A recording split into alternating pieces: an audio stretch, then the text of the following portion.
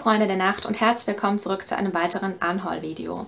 Ich habe mich mal wieder hingesetzt, ein bisschen aussortiert. Ähm, hier ist sogar tatsächlich noch ein dritter Stapel ähm, neben mir, den ich jetzt auch noch bearbeiten müsste, aber da komme ich irgendwann dazu. In diesem Video findet ihr vor allem Liebesromane, die ich aussortiert habe, historische Romane, Belletristik, aber auch einige äh, Fantasy-Bücher sind wieder dabei. Es ist so eine Mischung aus allem Möglichen. Und ja, ich wünsche euch wie immer ganz viel Spaß beim Zuschauen. Wir fangen direkt an mit dem Stapel, der direkt vor mir steht, würde ich mal sagen. Und da ist ganz oben auf ähm, ein Liebesroman tatsächlich, und zwar A New Chapter Band 1, My London Bookshop von Marnie Scaffers oder Scaffers, keine Ahnung. Ähm, ja, das ist ein Buch mit queeren Themen. Also ich weiß noch, dass es da, glaube ich, eine Liebe zwischen zwei Frauen gab oder so. Und sowas lese ich im Liebesbereich Roman auch gerne. Für mich geht es einfach nur ums Thema Liebe, egal welche Form von Liebe das jetzt hat. Aber ich fand diese Geschichte, und es fällt mir viel mehr gerade auf, als ich das Buch ähm, zur Hand genommen hatte, ich habe überhaupt keine richtige Erinnerung mehr an den Inhalt. Ich fand es total vergessenswert. Ich habe es definitiv zu Ende gelesen, aber ich meine, ich habe sogar es vergessen, in, in, dem Lesemonat zu erwähnen, in dem ich es dann gelesen hatte. Also ich weiß nur noch, ich habe es dieses Jahr gelesen und es muss Frühling oder Sommer gewesen sein.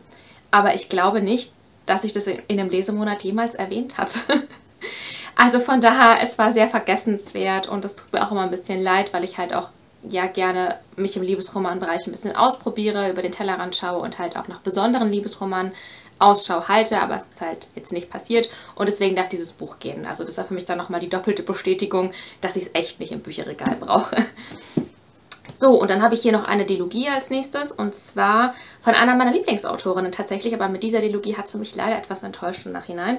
Und zwar Band 1 heißt Dear Enemy, das Ganze ist geschrieben von Kristen Callahan und der rein Abschluss dazu heißt Sweet Enemy.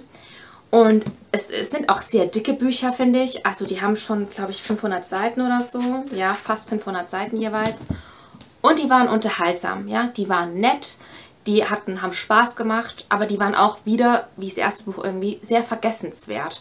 Und wenn ich was von der Autorin rereaden würde, wäre es immer die Idol-Reihe, weil die, ich, die fand ich wirklich herausragend. Es gibt da auch einen schwächeren Band, das ist der vierte, der sehr, sehr lange hat auf sich warten lassen. Oder ist es der fünfte? Nee, es war der vierte, genau. Ähm, aber die ersten drei waren tipptopp und deswegen, ja, brauche ich die Bücher eigentlich nicht zu Hause haben. Es hat auch keine besondere Thematik. Es hat, glaube ich, in einem Band ist es so ein bisschen so ein Cottage-Feeling, wo eine junge Frau irgendwie in so ein Cottage geht. Die ist, glaube ich, so ein Star und braucht irgendwie mal Ruhe, fernab von Trubel und von Ruhm und Paparazzi und so und trifft dann auf einen Gärtner, der da irgendwie ist und der die Hausbesitzerin halt gut kennt. Und dann verlieben die sich halt, da gibt es auch keine großen Konflikte, deswegen war das, glaube ich, auch so ein bisschen lame tatsächlich.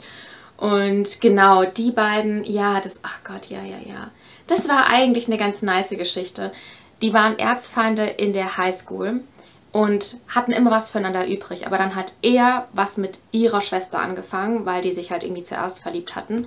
Und es ist aber in die Brüche gegangen, die beiden haben nie wieder was voneinander gehört und jetzt im Nachhinein treffen die sich unter Umständen halt wieder und verlieben sich dann halt doch ineinander. Also so eine Second Chance Love Story. Aber ich fand es halt, wie gesagt, ich, ich wäre jetzt nicht mehr drauf gekommen, ohne auf den Klappentext zu gucken und deswegen denke ich auch, nee, irgendwie war das einfach nicht meine Geschichte. Naja. Ups.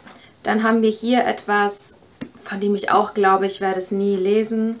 Ich, ich habe es mal angelesen und fand es auch ganz sweet, ja. Aber that's it. Und deswegen, ja, keine Ahnung. Es ist halt auch noch ein, es ist auch noch ein äh, historischer Roman, deswegen ist die Wahrscheinlichkeit sehr gering, dass ich dazu greifen werde. Denn vielleicht weiß es der ein oder andere noch nicht, ich lese tatsächlich gar keine historischen Romane. Historische Liebesromane ist sehr, sehr spezifisch und sehr ausgewählt und vielleicht auch nur einmal in fünf Jahren oder so. Aber klassische historische Romane gehen bei mir gar nicht. Die langweilen mich zu Tode. Und zwar habe ich hier Julia von Anne Focher. So sieht das aus. Ich glaube, das ist auch mal total bekannt gewesen. War so ein Hype-Buch vor irgendwie 15 Jahren oder so. Und ich denke auch, deswegen habe ich es mir damals gekauft. Selbst damals, als, es, als ich noch kein Internet und alles Mögliche hatte, gab es halt doch irgendwie auch Influencer, ne? vor allem auf der Buchmesse. Ähm, ja, und ich habe einfach gar keine Interesse mehr dran. Das ist halt eine Amerikanerin, die heißt Julia, gerät in den Strudel von Geheimnissen, die sie tief in, die, äh, in ihre Vergangenheit führt, die noch bis heute reicht. Und es geht natürlich um die große Liebesgeschichte, die jedermann kennt, nämlich die von Romeo und Julia. Und vielleicht gibt es da auch irgendwie familiäre Bande oder so, dass es da so einen Hintergrund gibt, aber I don't know, mich interessiert es einfach nicht. Deswegen darf es gehen. Ähm, Genau, dann habe ich mal meine Cecilia Ahern Bücher durchgeschaut und geguckt, was davon gehen kann, weil ich da auch, glaube ich, nicht alle brauche. Und ähm, ja, dann habe ich gedacht, das kann eigentlich gehen. Das war für mich einer der schwächsten Bücher von ihr. Und zwar Für immer vielleicht. Da geht es um zwei junge Menschen, die sich seit, seit ihrem fünften Lebensjahr, glaube ich, kennen und sich immer mochten und zueinander hingezogen gefühlt haben. Aber dann wird eines Tages, ähm, zieht, glaube ich, eher weg, oder? Ich meine, er zieht weg. Und die beiden verlieren sich halt aus den Augen. Ich glaube, sie wird sogar noch schwanger oder so von jemand anderem. Er heiratet auch jemanden, aber auch das geht in die Brüche. Und dann treffen die sich halt wieder und auch Second Chance im Grunde. Und obwohl ich eine große Friends to Lovers Geschichte äh, Fan bin von diesem Strickmuster, äh, also diese Geschichten sehr mag, finde ich tatsächlich diese Second Chance Sachen immer sehr langweilig und habe jetzt festgestellt, auch dieses Buch, das werde ich nie wieder lesen und deswegen kann das jetzt auch einfach gehen. Aber Cecilia Ahern ist grundsätzlich nicht schlecht. Ich habe die halt viel gelesen, als ich sehr jung war und ähm, habe auch noch gute Erinnerungen an einige Geschichten. Teilweise sind auch fantastische Elemente in ihre Bücher verarbeitet. Genau.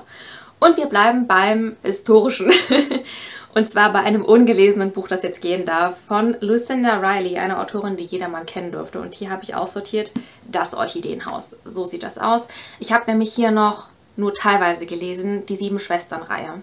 Da habe ich bis Band 3, glaube ich, gelesen, vor Urzeiten. Und habe dann irgendwie aufgehört, keine Ahnung. Man kann halt auch wirklich die Bücher nicht unabhängig voneinander lesen, aber wenn einen jetzt alles andere drumherum nicht interessiert, theoretisch schon, weil die bauen zwar teilweise aufeinander auf, aber es geht halt immer um eine der Schwestern, die halt von so einem Typen, der Atlas heißt, äh, adoptiert wurden und die finden quasi ihre Wurzeln und auch ihre Liebe, bla bla bla.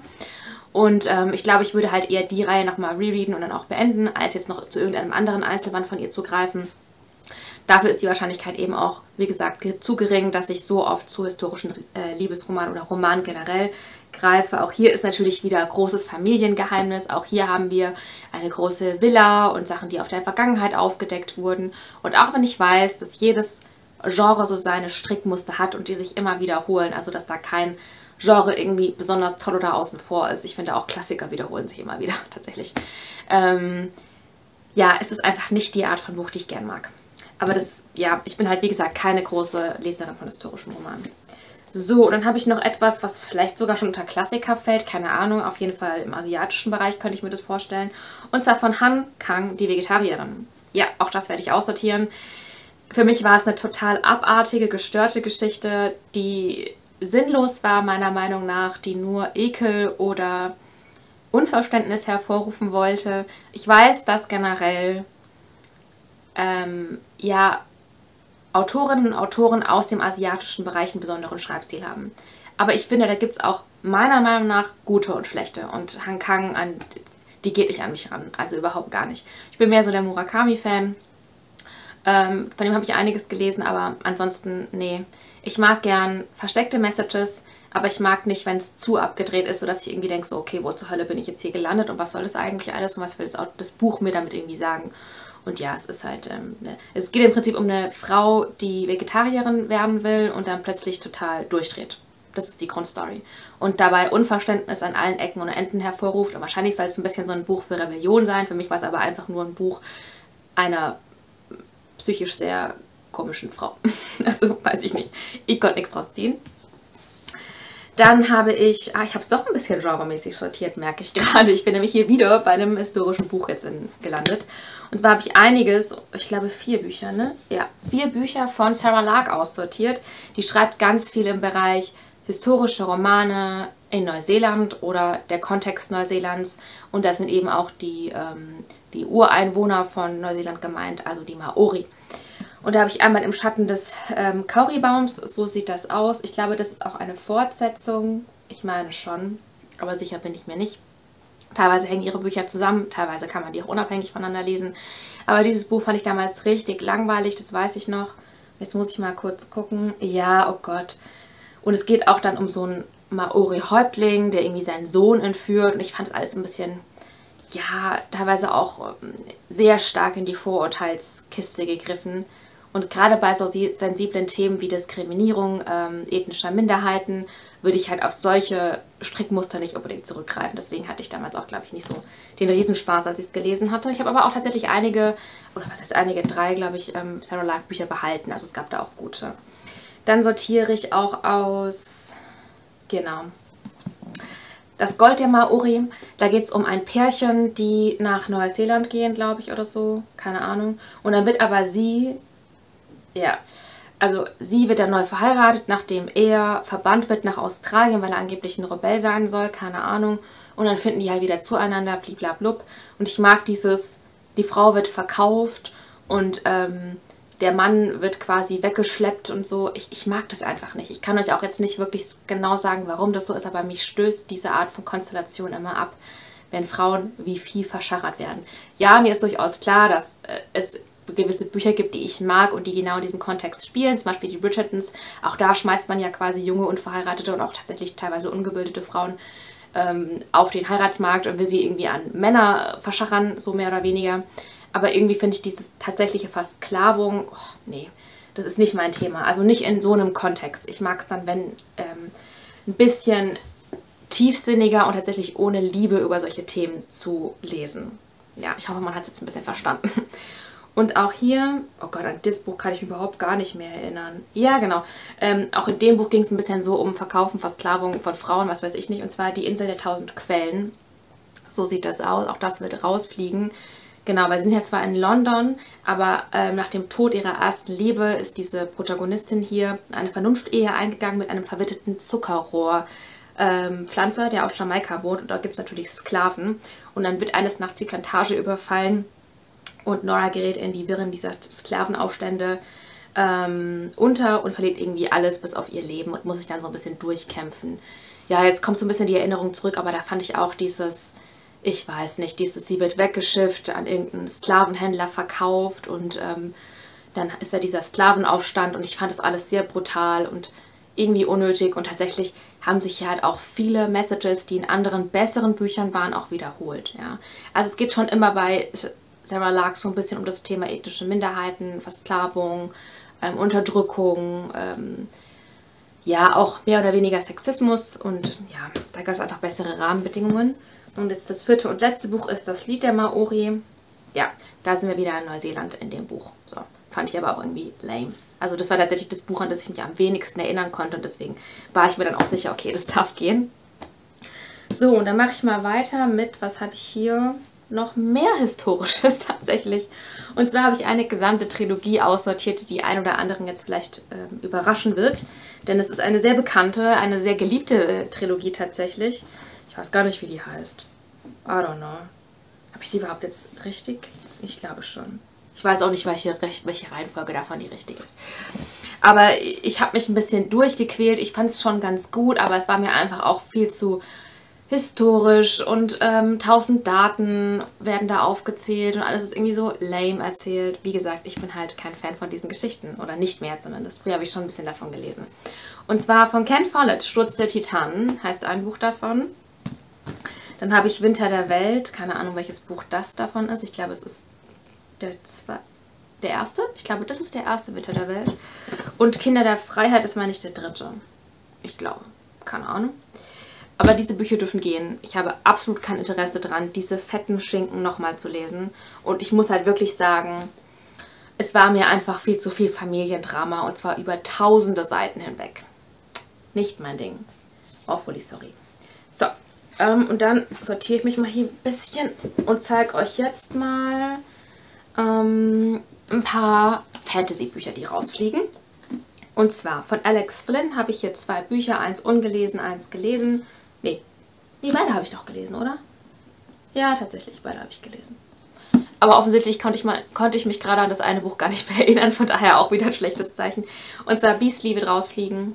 Ähm, das ist eine Neuerzählung von die Schöne und das Biest, genau. Und dann haben wir Kist von ihr. Ähm, das ist eine gute Frage. Ist das eine, eine Neuerzählung von Dornröschen, glaube ich? Ich glaube, es ist eine Dornröschen-Geschichte. aber sicher bin ich mir auch gerade nicht mehr. Naja. Also, wie gesagt, es waren nette Jugendbücher. Vor allem Beastly habe ich vor einiger Zeit gelesen, also vor längerer Zeit. Aber äh, ja, ich brauche diese Bücher einfach nicht da. Ich werde nie wieder zugreifen. Die sind mir einfach zu jung geworden. Ich bin jetzt so ein bisschen entwachsen. So, dann haben wir hier auch noch eine komplette Reihe. Ich werde die jetzt mal so direkt in die Kamera halten. Ich hoffe, man sieht Oh Gott, ist überhaupt alles hier richtig rum? I don't know. also, ich habe von Philipp Heitz die komplette, oder die zwei kompletten eigentlich, Doors-Trilogien aussortiert. Die sehen so aus. Also insgesamt sechs Bücher. Das ist so ein bisschen teilweise interaktiv gemacht und teilweise auch nicht. Es sind so Mitdenk-Thriller. Ja, der eine heißt Wächter. Dann, ich muss mal Platz schaffen. Dann haben wir, ähm, naja, das ist jetzt die andere Trilogie. Moment, Moment. Ich muss mich sortieren. so, dann haben wir äh, Vorsehung. Also die gehören jetzt zusammen. Ähm, und Energia, genau, auch das. Fand ich echt schön zum Lesen. Aber wenn man den Twist halt kennt, und das ist für mich auch ein bisschen das Problem bei Thrillern, dann liest man halt das nicht nochmal, weil jetzt kenne ich den Twist. Ja, jetzt werde ich ja nicht mehr überrascht. Da muss mich schon ein Buch, ich sag mal, vom Metaplot her überzeugen. Bei, längere, bei längeren Reihen ist es manchmal bei äh, Thrillern der Fall, damit ich halt dranbleibe und sage, okay, ich möchte da auch wirklich weiterlesen. So, die zweite Trilogie heißt einfach ähm, X, also Doors X. Dann haben wir, ja, keine Ahnung, Ausrufezeichen. I don't know. Und noch Fragezeichen. also das ist mehr oder weniger das, was diese Bücher einfach auch unterscheidet. Und es geht halt schon auch darum, dass man... Ja, ich, ich werde jetzt nicht den ganzen Plot im Prinzip wieder aufwirbeln. Es ist cool gewesen, es war spannungsgeladen, es war interessant, es war zum Mitdenken, aber es ist halt... Es ist halt, der Drops ist gelutscht, würde ich mal behaupten. Ja. Also ich brauche es einfach nicht nochmal. Gut. Sehr eloquent bin ich heute. Ich merke es. okay. Weiter machen wir mit einem Buch, das ich abgebrochen habe, und zwar auch vor nicht allzu langer Zeit, und zwar die Schwestern Grimm von Männer van Braak. Hat super gut angefangen, die Idee war toll. Ähm, man hat aus sehr vielen unterschiedlichen Perspektiven gelesen. Was mich hier ganz, ganz hart abgestoßen und gelangweilt hat und auch genervt hat, war der Schreibstil, denn es gibt hier unfassbar kurze Abschnitte. Also wirklich teilweise hat man drei verschiedene Perspektiven auf einer einzigen Seite, die immer wieder aufgemacht werden. Also diese Sprünge zwischen den Personen ist so schnell, dass man eigentlich gar nicht richtig in eine Person eintauchen kann. Und es sorgt eben auch dafür, dass man sehr viele unnötige Zwischeninformationen kommt, die das Buch einfach nur dick machen im Grunde und ausfüllen. Also dafür war es mir einfach zu wenig. Ich glaube, hätte man alle Sichten einfach ein bisschen enger komprimiert zusammengepackt, hätte ich auch auf jeden Fall zu Ende gelesen und hätte diesem ganzen, der ganzen Sache vielleicht auch noch mehr eine Chance gegeben. Aber so war es für mich eine absolute Katastrophe. Es hat mich super gelangweilt und ich habe es tatsächlich sogar damals im Buddy Read gelesen und meiner Buddy Read Partnerin ging es genauso. Also die konnte mich dann quasi nicht motivieren, jetzt nochmal weiterzulesen. Deswegen, es darf rausfliegen. Ich habe einfach gar keine gute Leseerinnerung daran. Dann habe ich noch etwas, was ich im vergangenen Monat gelesen habe und wie angekündigt wird es jetzt aussortiert. Und zwar Ice Blended Barbarians Band 1, Georgie und Vectal von Ruby Dixon. Ähm, ich fand es trashig, ich fand es trotzdem unterhaltsam, ich fand es zu erotisch aufgeladen und gleichzeitig doch irgendwie so spannend, dass ich den zweiten Teil lesen wollte, aber den habe ich mir dann als E-Book geholt und deswegen, ja, ist für mich diese ganze Geschichte mit den Barbarians jetzt abgeschlossen. Ich habe irgendwie keinen Bedarf mehr, da weiterzulesen. Es war einfach mal so netter Trash zwischendurch, aber mehr leider auch nicht. Von daher keine komplette Empfehlung. Ne? Also ich habe ja auch, wie gesagt, zweiten Band zumindest gelesen. Und dann habe ich hier noch eine weitere Dilogie, die in einem größeren Universum spielt, das, glaube ich, mehrere Reihen beinhaltet. Ich habe allerdings nur diese Reihe jetzt gelesen. Und zwar die One True Queen von Jennifer Benkau, genau. Band 1 heißt Von Sternen gekrönt. Und hier geht es um das Land Sky und eine ja bisher unbekannte zukünftige Königin, die ähm, unsere Protagonistin ist und in dieses Land kommt und sich dort erstmal zurechtfinden muss, auch ein bisschen ihre Liebe findet, dann Krieg verhindern muss und so weiter und so fort. Also es war so eine klassische Geschichte zwischen eine junge Frau kommt in eine High-Fantasy-Welt und besteht dort einfach ganz viele Abenteuer. Ja? Also es ist nicht das Neueste vom Neuesten, aber ich fand es trotzdem sehr unterhaltsam damals und habe es auch echt gern gelesen. Aber ich werde es halt nicht nochmal lesen. Ja, Lia Sky. Ja, Lia Sky heißt dieses Land, genau. Nicht Sky, Lia Sky. Und auch Band 2 darf dementsprechend ausziehen und zwar aus Schatten geschmiedet. So sieht der zweite Band aus. Ich finde die halt auch nicht wahnsinnig schön. Der erste Band ist schön nah, aber der zweite ist überhaupt nicht mein Ding. Deswegen dürfen die jetzt auch gehen. Und ich weiß allerdings, dass es da halt, wie gesagt, noch mehr Reihen gibt. An denen habe ich grundsätzlich Interesse, aber die würde ich mir, glaube ich, eher von Freunden ausleihen, aus der Bücherei ausleihen oder wo auch immer, vielleicht sogar als E-Book lesen. Aber ich möchte die halt nicht im Schrank haben, weil so toll war das Universum dann für mich leider nicht. Ja. So, und dann kommen wir jetzt quasi zur letzten Kategorie. Und zwar, oh Gott, ich muss mich hier mal ein bisschen umsetzen. Ich hocke ja immer hier auf dem Boden und da ist manchmal ein bisschen unbequem. so, und dann kommen wir zur letzten Kategorie und das sind die Liebesromane. Da habe ich auch ein bisschen was aussortiert. Nicht extrem viel, aber schon ein bisschen was. Und zwar, ähm, abgesehen von Enemy, die habt ihr ja schon gesehen, die Reihe jetzt am Anfang, habe ich noch hier Rebel Soul und Rebel Heart von V. Keeland und Penelope Ward in Kooperation geschrieben. Von denen habe ich ja schon einige Sachen gelesen. Wenige davon sind tatsächlich Highlights geworden, aber ein paar schon. Und diese Bücher habe ich zwar gelesen. Ich zeige euch nochmal den zweiten, Rebel Heart. So sieht der aus. Aber ich werde es halt auch nicht nochmal lesen. Es war so, ein, so eine nette Unterhaltung für zwischendurch. Und ich mochte tatsächlich das Ende, Ende dann nicht so wahnsinnig gerne. Es war okay aber es war nicht überwältigend gut und es kommt halt auch was drin vor, was ich nicht ganz so mag. Ähm, ja, ich will es jetzt nicht erzählen, weil es ist halt ein Spoiler. Aber das ist eine Wendung in der Geschichte, die ich einfach immer so ein bisschen, die mir so ein bisschen bitter aufstößt. Und deswegen darf das Buch oder diese Reihe jetzt auch gehen.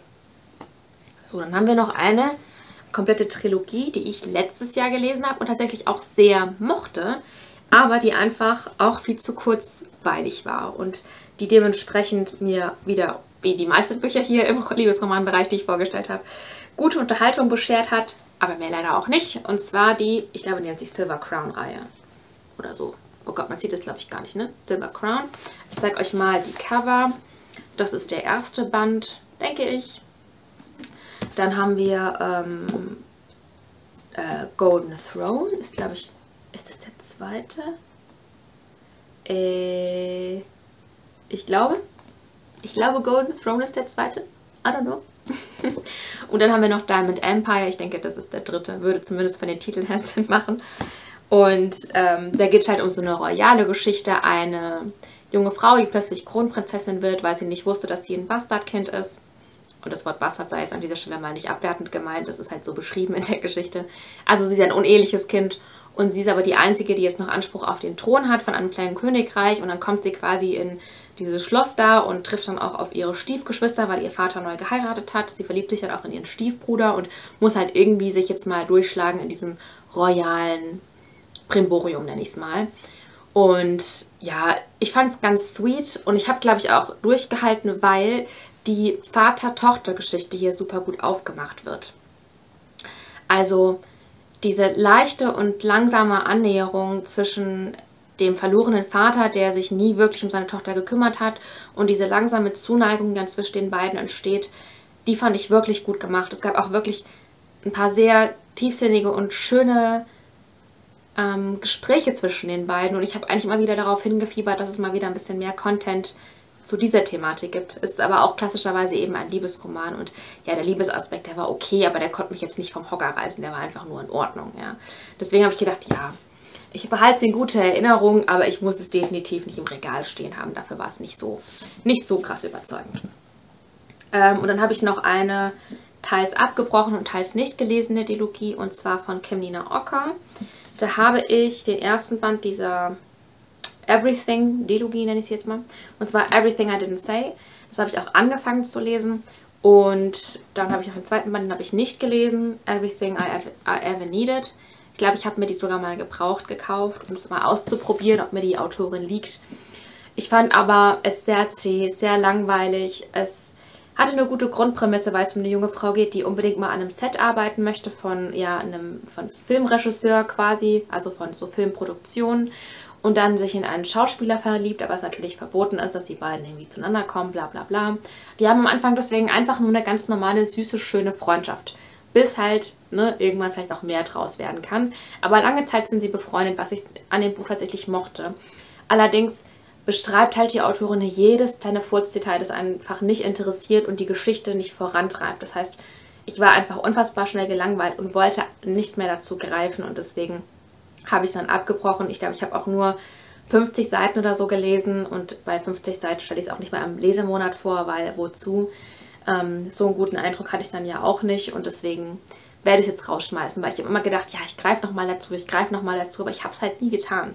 Und vielleicht liegt es daran, dass es auch die erste Geschichte aus ihrer Feder war. Zumindest glaube ich, dass es die erste Geschichte ist. Schreibt mir mal gerne in die Kommentare, wenn es da noch mehr Bücher gibt. Also ältere vor allem.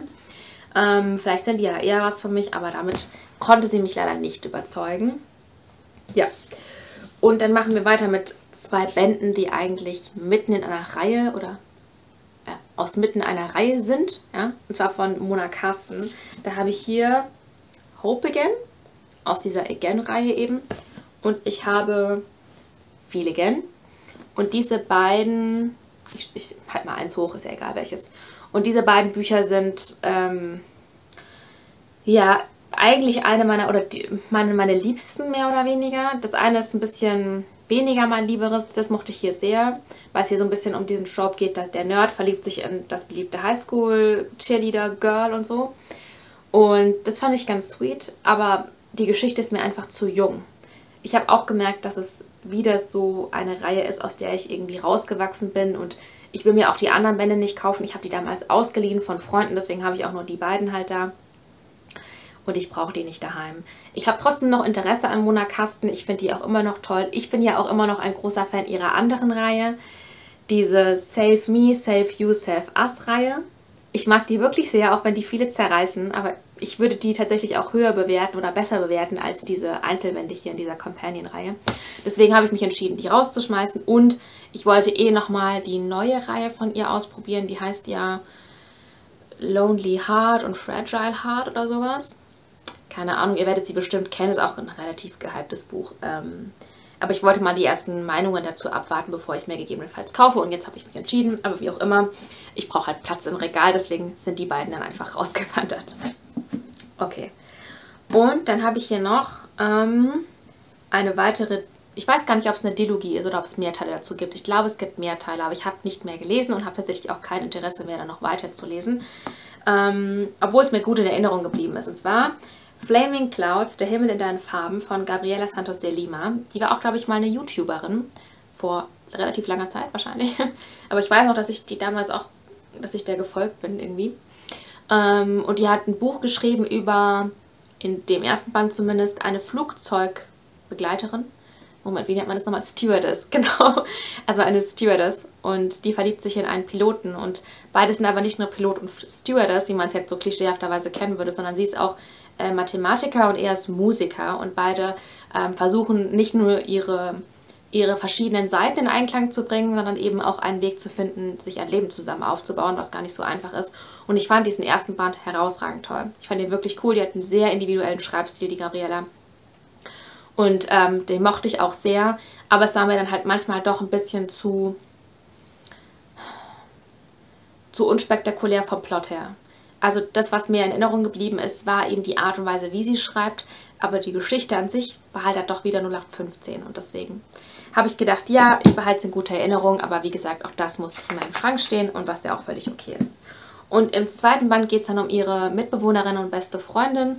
Und oh ja, ich glaube, es gibt noch einen dritten Band, da geht es dann um ihre andere Mitbewohnerin und ihre andere beste Freundin. Ähm, und auch die bekommen halt sozusagen ihr Happily Ever After. Mit dem zweiten Band habe ich, hat es mich ein bisschen enttäuscht, weil ich fand ihn wirklich wesentlich schwächer als den ersten und deswegen habe ich gedacht, hm, keine Ahnung, ob ich den dritten überhaupt noch lesen soll. Genau so war das jetzt kommt die Erinnerung wieder. ähm, und habe es dann einfach gelassen. Also vielleicht werde ich irgendwann nochmal weiterlesen, aber ich werde es mir definitiv nicht mehr kaufen, weil dafür hat einfach auch die Qualität in Band 2 ein bisschen zu stark abgenommen. So, und last but not least habe ich hier noch ein Buch, das seit 100 Jahren bei mir ist und das ich seit 100 Jahren hier rumstehen habe, in das ich aber, glaube ich, nur zweimal in meinem Leben reingeschaut habe. Es ist ein Bildband. Und zwar über eines äh, der, finde ich, interessantesten Tiere oder Tiergattungen der Welt, und zwar Vögel. es ist eine Enzyklopädie der Tierwelt oder der Vögel halt in der Fall. Und ich habe es vor 100 Jahren mal gekauft. Das war auch einer meiner ersten Bücher, die ich mir selber gekauft habe. Also so Special-Bücher, sag ich mal. Und ich liebe dieses Buch immer noch, aber ich werde halt einfach nicht mehr reingucken. Es war für mich immer nur noch so ein Nostalgie-Relikt ähm, aus den Anfängen meiner Lesezeit, ja, oder Das heißt, anfänglich war da, glaube ich, auch schon zwölf. Da habe ich auch schon sechs Jahre gelesen. Also von daher, hm. Aber ich brauche es nicht da haben. Ich gucke halt auch nicht mehr rein heutzutage. Ich gucke es nur an und freue mich. Aber ja, das, dieses Gefühl habe ich bei vielen Büchern und deswegen darf das jetzt auch mal guten Gewissens gehen. Ich bin auch keine, ähm, keine Ahnung, Vogelexpertin oder irgendwie total bewandert und begeistert für dieses Thema. Ich mag Vögel, ich gucke sie gern an. Ich eigne mir auch manchmal gern in Dokus Wissen darüber an, aber ich würde jetzt nicht nochmal eine Enzyklopädie oder so lesen. Das ist jetzt sehr, sehr unwahrscheinlich. Genau, auch deswegen darf dieses Buch gehen.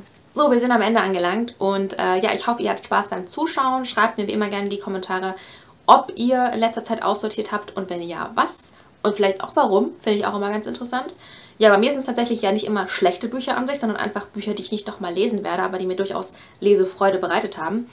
Ähm, ja, und ansonsten dürft ihr mir auch an dieser Stelle gerne mal wieder schreiben, ob ihr ein, zwei, drei oder alle Bücher gerne haben wollt. Ich werde die diesmal nicht bei ähm, Rebuy oder Medimobs oder so verkaufen, sondern tatsächlich diesmal meinen Zuschauern zu, zu Gemüte führen. Es wird natürlich ein bisschen dauern, hier dann alles auszudrucken, Labels zu machen und ähm, Kartons zu sammeln, damit ich das alles verschicken kann, wenn Interesse überhaupt besteht. Aber ich biete es euch dieses Mal an, weil ich dachte, hey komm, ähm, ich habe es lange nicht mehr gemacht. Ich habe immer lange gesagt, ja, ich äh, verkaufe jetzt einfach mal so irgendwie oder stelle es ins Tauschregal. Aber ja, wenn, wenn Interesse besteht, schreibt mir einfach gerne. Da denke ich vor allem an dich, Anne. Du bist ja auch schon langjährige Abonnentin von mir, hast mir das letzte Mal geschrieben, ob nicht vielleicht ein oder zwei oder drei Bücher noch da wären, ähm, die, die ich dir abtreten würde. Da habe ich dich schon vertröstet. Deswegen wollte ich an der Stelle auf jeden Fall nochmal ganz deutlich werden und sagen, hey, ich halte erstmal alles zurück. Du hast gerade das Privileg, weil du wirklich echt oft geschrieben hast, ähm, die auszusuchen, was du gern haben möchtest. Kannst mir einfach gern schreiben oder ihr alle könnt mir gern schreiben, wie immer an dragon-stories at gmx.de.